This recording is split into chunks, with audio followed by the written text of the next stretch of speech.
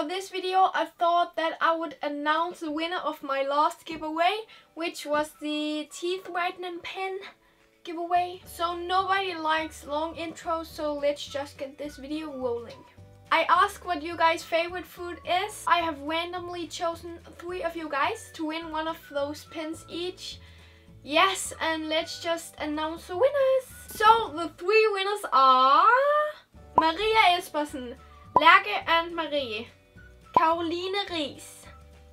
I will send the winners a message so I can get your details like address and stuff like that. I hope you guys are excited for more giveaways and if you do want more giveaways please let me know by giving this video a thumbs up and there will probably be more giveaways coming up soon.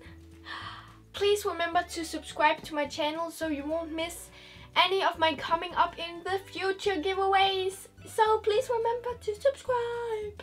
So if you are wondering, I have got a new light. It is like a softbox and it is so beautiful. It looks like natural light actually.